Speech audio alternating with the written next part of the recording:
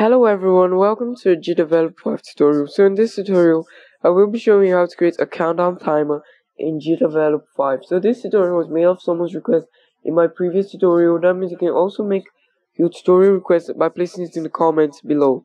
So first of all, I will open a scene I've currently worked on to show you what we will be doing. So I will run that. In this tutorial, I will be showing two ways of actually creating a countdown timer. So um here you can see, changes 9, 8, 7, 6, 5, 4, 3, 2, 1, 0.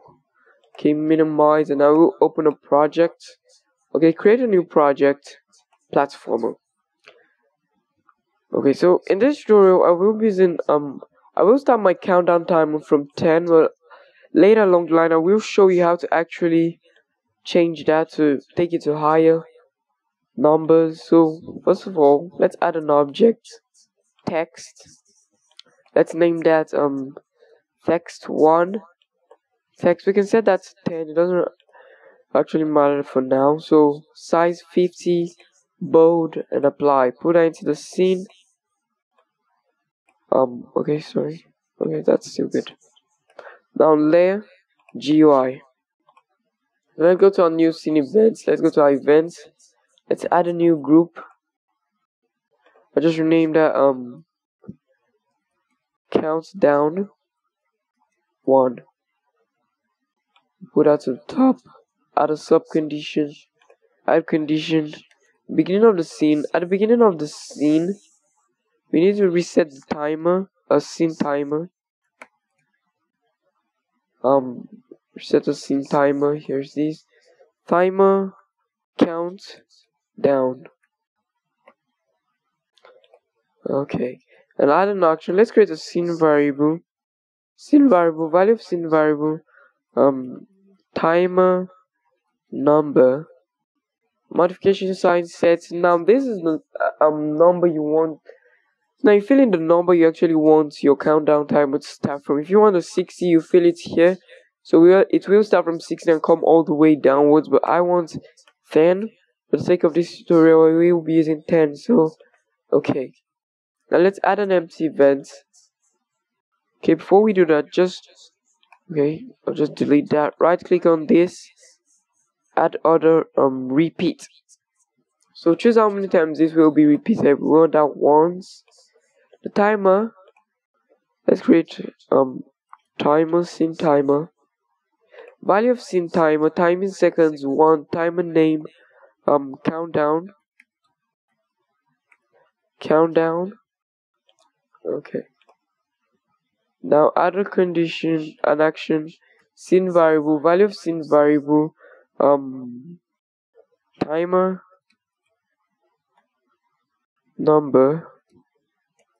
Timer number modification sign we needed to subtract um one from it. So subtract on one okay. and uh, we need it to also reset the timer when it's subtracted so it will reset it.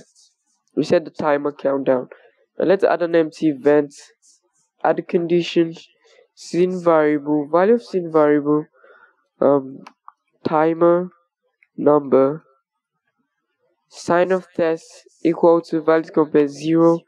So when it's set to zero you can add an action either reset the scene here. So this is where you actually add your action um depending on what you want. So add an empty event now let's add an action. Um modify. Let's modify um the text. That's text one. Modification sign um set to text. Let's create a string. So to string. Um to string let's open the brackets now variable variable um open the brackets timer now we fill in your variable that's timer number close it the bracket and close it. Sorry close it close. Okay now let's run that. So we're done with our first um countdown. So here it is nine eight seven six five four three two one. Okay now we will um I will show you how to create the second one. Now I would advise um for new users of GDevelop I would advise you to use a second um process because it's easier. So um let's name that text 2 text 2 um text 10 now this actually matters. You need to set the number of um, the text you want here. So um size? Okay I'll just say that's a 50 bold. That's okay. Put that into the scene. I will also place that beside this so I can actually see. This is text 1 and this is text 2 layer so that's a GUI new scene events. Let's create a new group. We'll put that out. Um countdown 2 add a sub condition now beginning of the scene at the beginning of the scene um let add, let's add an action. Timer. Timer. So we needed to um reset the timer at the beginning of the scene. So reset the timer. Count down two.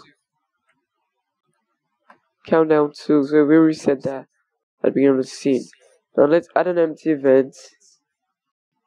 Add a condition timer scene timer value of scene timer time in seconds one timer's name um countdown countdown um two sorry. Okay. So the timer countdown is greater than one second. Add um an action modify. Modify the text. Text to um text. So we'll set this to 9 so you're feeling 9 here. Modification sign um set to. Okay. So this is um a much um, longer process. But if you want to actually understand this i would recommend you use the countdown too so copy that paste that below. So countdown is greater than 2 seconds. Do 8 when it's greater than 2 seconds changes it to 8 let's do that again. Paste. When it's greater than 3 seconds it changes that to 7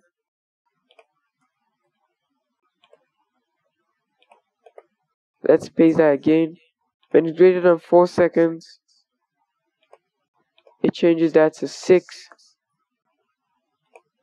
so when it's greater than um 5 seconds it changes that to 7 so um if you have no time to do this i would recommend you use the one above because that's much more easier than this. So 6 um when it's 6 seconds changes that oh sorry 5 seconds changes that to 5 at 6 seconds it changes this to um 4 paste that again. So when it's 6 and 7 seconds it changes that to 3 um paste that again. 7 when it's 8 seconds it changes that to 2 and when it's 9 seconds 9 it changes that to 1 1 so now we're done with our second process. So run that. Here we'll let um both timers run. So as you can see the both changes our text to and text 1 so um you just choose whichever process you want. So that's it